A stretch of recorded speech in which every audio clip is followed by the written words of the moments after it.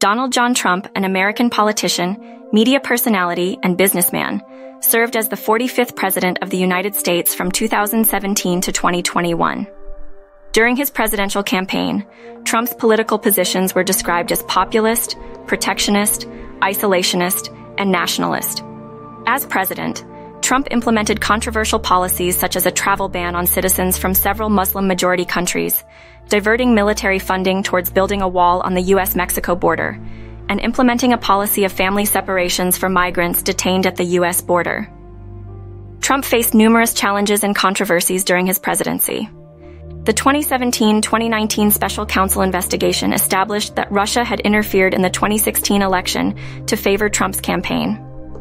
He was impeached twice by the House of Representatives, first for abuse of power and obstruction of Congress in 2019, and then for incitement of insurrection in 2021. Since leaving office, Trump has remained heavily involved in the Republican Party.